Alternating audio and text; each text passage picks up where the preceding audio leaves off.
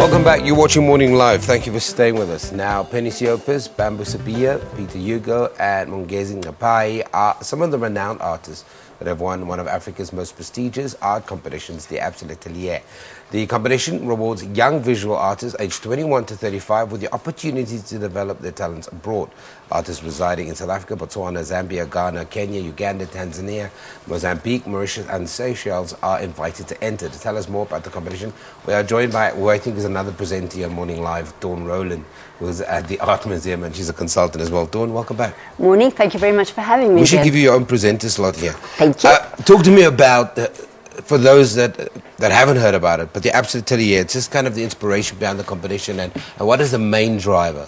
The main driver is us giving a platform for young artists to actually build their career, create their brand.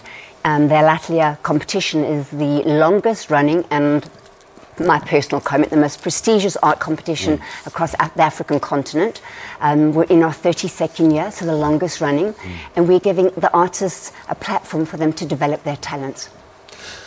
But I, I think what this competition has also done, it has identified, I don't want to use the word young in a pejorative sense, but it's identified artists that are really, I think, on the cusp of greatness. That they've somehow, this competition has created a gateway for people to sit up and go, you know what, that's the next big name we've got to watch, and that's the person. Even if they come into this competition not as established as when they leave. I think the interesting thing is that not necessarily have to be, you don't necessarily have to be the winner, but hmm. anyone that actually goes through L'atelier and gets into the top 100 establishes a name for themselves. And the names that you've mentioned, and we have numerous, um, are still uh, producing artists. And the, the, um, the majority of artists that come through the L'atelier are self-sufficient. You have got artists that are producing, you have got lecturers in universities, you've got well-established artists, and they actually create something, and it's an ongoing relationship with us.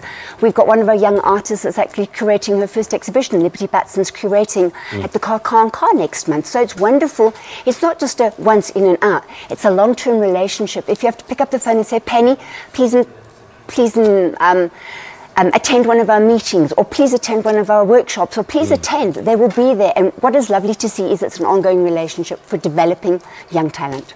Talking about ongoing, you've got a, a uh, currently you've got an exhibition going on. Yes, um, very interesting. We have got our L'atelier winner, or one of the Merit Awards from two years ago, getting up, and he's actually producing. Um, we, we're running an exhibition currently at the gallery, so please come and visit. Um, and he's from Ghana, so it's Ghanaian. We have we are, we're entering Mozambique this year for the first time, so it's across the African continent. Brilliant. Talk to me about that growth because you know it's one thing to grow a, a- competition or something this prestigious in the confines of South African borders, but then it pick, gets picked up across the continent. It does really say that we, we are a little bit, we are a lot smaller than what we think. The people that that art community. Um, we, and that's, I'm smiling about it, but previously it was just South African based. So in the last two, three years, we've extended our borders across the African continent. And it's bringing in a bigger pot of all this young emerging talent. And different voices, uh, Yes, different it's ideas. Different ideas across the continent. And you'll see things which are different in Ghana to, um, to Kenya. Um, uh, there's a different caliber of work that's coming through, but it's also making South Africans pick up their game. Mm. Because previously, top 100, easy to get into. Now you're in 10 countries. So um, the pot has actually got a little bit I, I've got to ask you about that. Now that you're in ten countries, the adjudication process is it more challenging? Um, uh, luckily for me, I just have the privilege of looking at the work. I have nothing to do with the adjudicating. sure. Totally impartial. But in And- part of that discussion, though, when you're sitting and people Um, talking about the quality of entries and, and kind of going through that process. The adjudication um, process uh, or, or process that's in place is um, a selective process. It is impartial people from third parties um, that, that get involved with the actual adjudicating. And yes, you'll see the difference in work over the last three years. You could have digitally um, focused. You could be, um, there's been some, Colin, one of the movies that we've got on for Prosper at the moment is very much in terms of wood carving.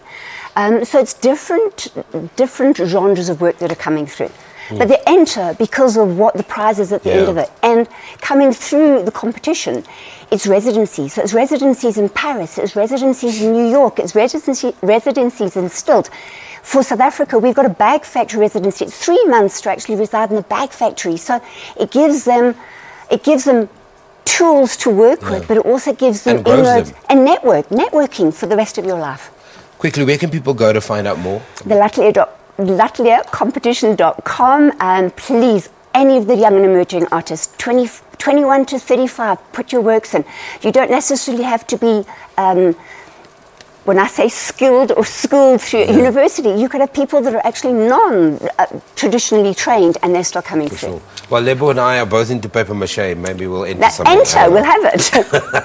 Dawn Roland is an art and museum consultant speaking to us about the one of Africa's most prestigious competitions, the Absa Atelier uh, entries for this competition that rewards young visual artists aged 21 to 35 with the opportunity to develop their talents abroad are now open. So only the best of the best.